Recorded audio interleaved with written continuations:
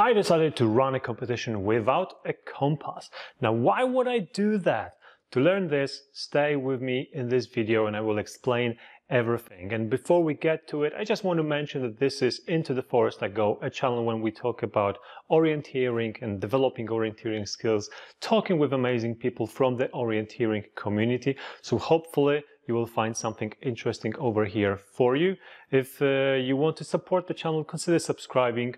And also, if you want to support us financially, then the links are in the description of this video and you can support us, for example, through Patreon. And now back to this video. Let's talk about running without a compass. Um, so I did this to challenge myself a little bit because the competition that I was going to, I was attending it after a two week break, so I knew I will not be able to run with full speed. I actually had it in my head that I'm going to be walking up the steeper hills just to save my Achilles that is giving me some troubles lately. So because I knew I will not be developing my full forest speeds, I wanted to challenge myself a little bit, both on the sprint distance, which was on Friday, and then on two forest distances in Saturday and Sunday. So I will tell you about the challenge for the sprint distance. It was different than not having a compass, although I didn't use the compass during the sprint distance as well. But for the forest, I decided that I'm going to run the competition without even taking the compass with me. Now, it's not only about challenging yourself because running without the compass can actually be quite an interesting training method for particular specific reasons. So using the compass during an orienteering race, I feel like this is a very strong and necessary essential skill that you want to have. So why would you try running without the compass? Well, running without the compass will force you to focus on some other orienteering elements that maybe you feel that you're lacking in. So for example, reading details from the map.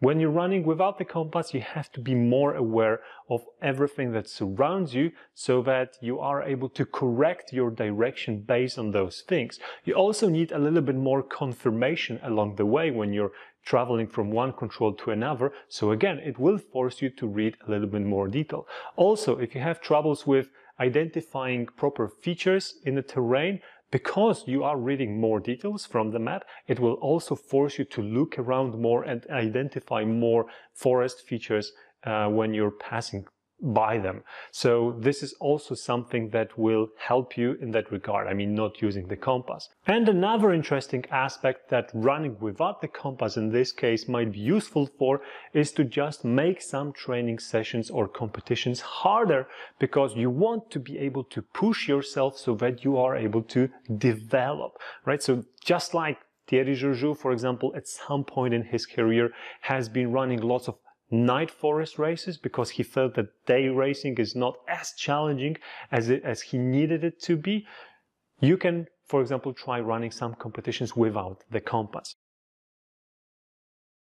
Does it have any drawbacks? So I think it does. I think it does, and I don't recommend doing it too often. And the reason is habits. You want, as an orienteer, you want to have habits and you want to automate as many things as possible. And there are several habits around the compass, several habits that use the compass. And if you will start running too many races without the compass, those habits will, will start to get, uh, get lost and you will have to relearn them, which you don't want to do because it's just a waste of time. So it's fun from time to time, but definitely don't do it too often because then it will be damaging to your general orienteering skills.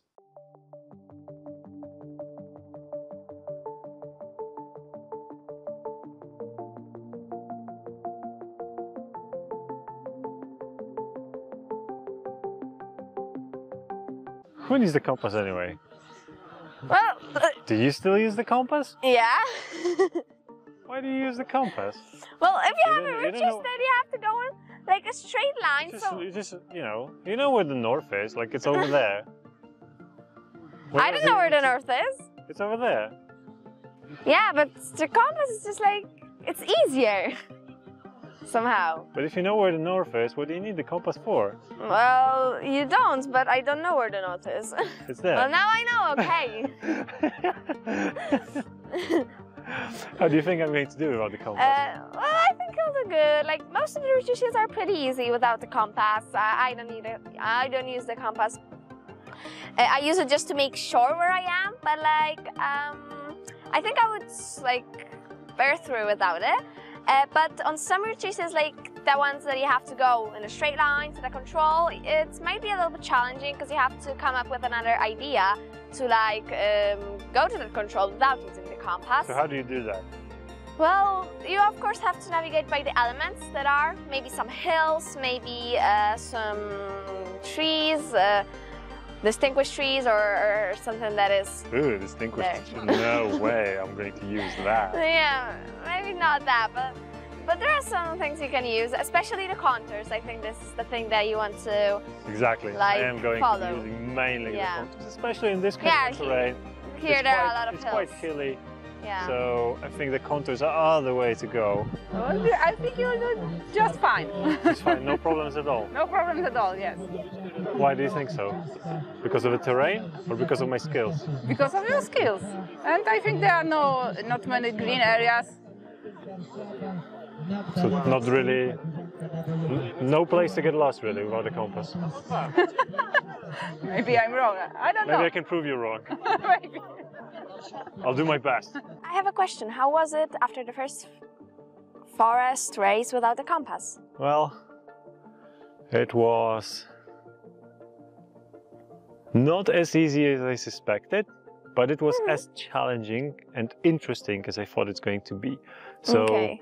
I had to put a lot of thought into what I'm going to navigate by, hmm and it definitely wasn't a perfect race.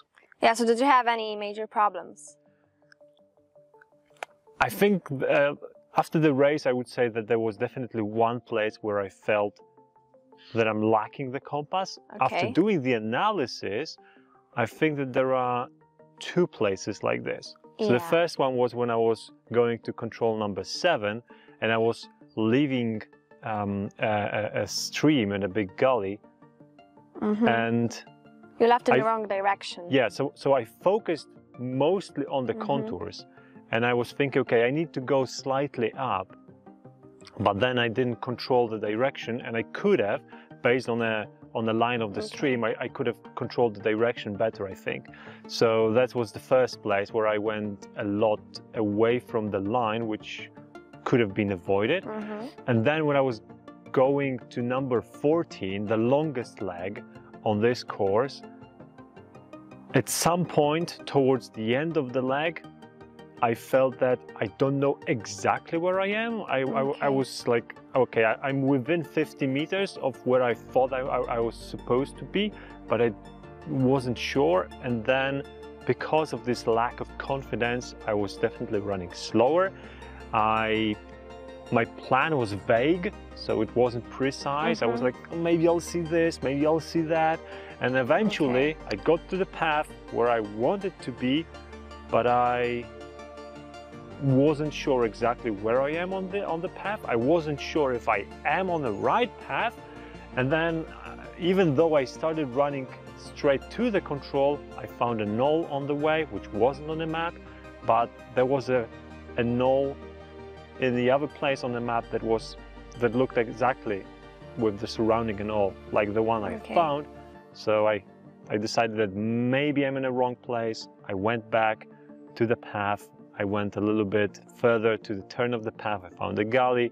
So then I realized, okay, I was in the right spot. And then I continued back to the control, which I think was a loss of about two minutes from the knoll, but I also lost at least half a minute by lack of confidence hmm uh, earlier, even even before this mistake. So these were the two places where I think it could have gone a lot better. So some hot impressions right after the race in terms of using the compass and practicing navigating by features and contours. It was a lot of fun and there was there were definitely more places today when, where when I wished I had a compass with me. But at the same time, unfortunately, the race ended in my disqualification because I skipped one of the controls, just omitted it. Just two controls became one at some point and I didn't punch number 11 because I thought I am at number 11 while punching number 10 and I went straight to number 12. So that sucks, uh, but it is what it is. And now back at home safely, let's take a look at day number three from the analysis standpoint. So I began the race pretty steadily. I went around over here because of the bushes. Number two, quite easy really, just follow the contours, control the road. Number three, very easy. Number four, very interesting because I didn't want to go too much down. So I went from the right um, over here at this point I found the control in this very narrow gully, so I knew exactly where I am. And then I simply continued, continued along the contour more or less. And at this point in time, again, a, a, perfect confirmation where I am. And I knew that I had to have to climb up slightly. I did it a little bit too late, but that was, that was okay, not really uh, big of a problem.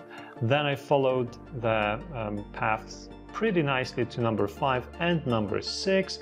Um, not no problems at all really. Number seven very easy, number eight very easy, and then number nine was the first one in a while that has been a little bit challenging. I went from the right side, which proved to be a good decision because the white forest over here allowed me to control exactly where I'm going and what do I see.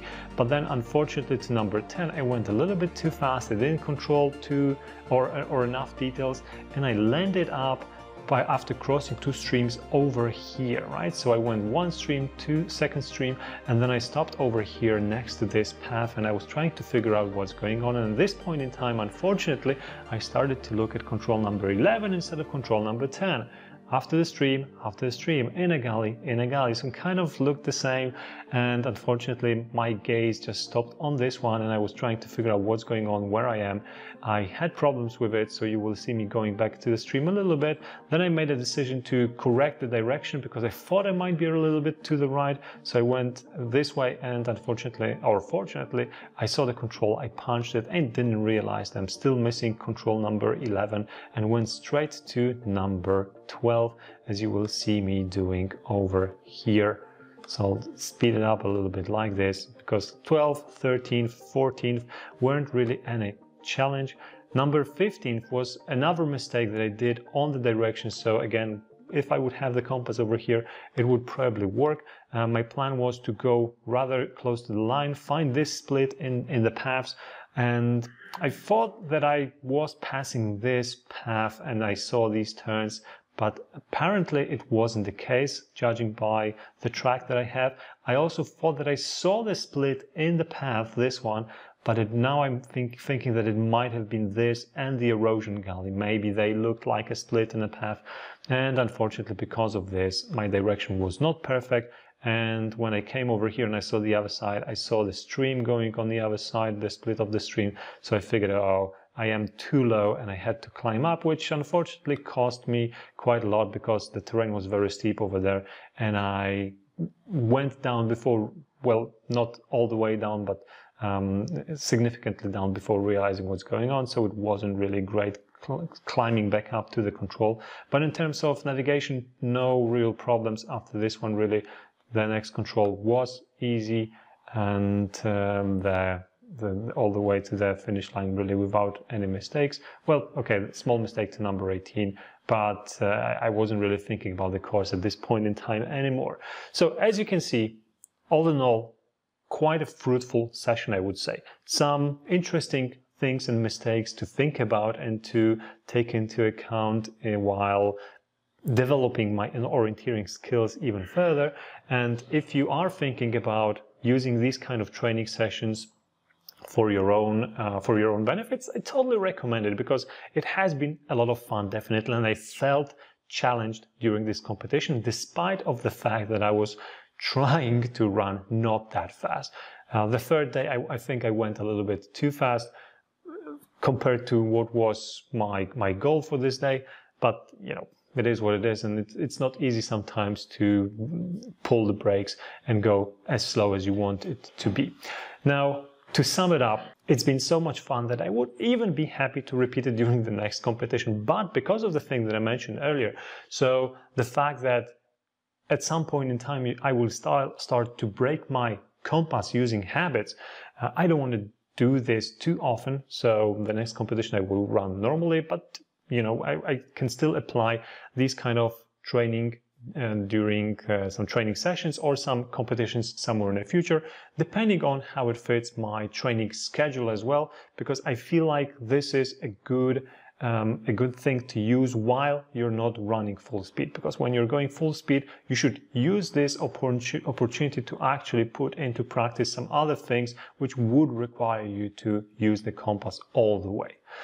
If this has been helpful and useful and you've learned something, consider subscribing if you're not subscribed yet, giving the like to the video, and if you have if you did have an opportunity to run without the compass, either because you've planned it or maybe because you forgot to bring the compass to the competition or to the start or you broke the compass during the race, let me know in the comments. I'm sure there are some interesting stories hidden out there.